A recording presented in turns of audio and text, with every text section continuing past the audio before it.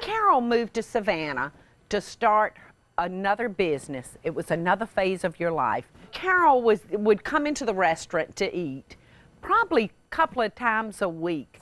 And I would I, I looked very forward to Carol coming in and I'd always sit down and chat with her.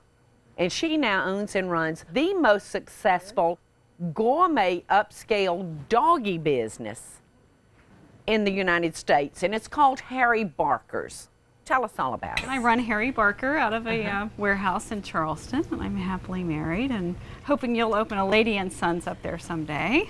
Carol and I are gonna really fire up this next dish together. We're gonna be making bananas Foster. How about if you give me a light? Okay. Okay. And you're gonna hold my, you're gonna hold that? Uh huh. Wait, what are you doing, Carol?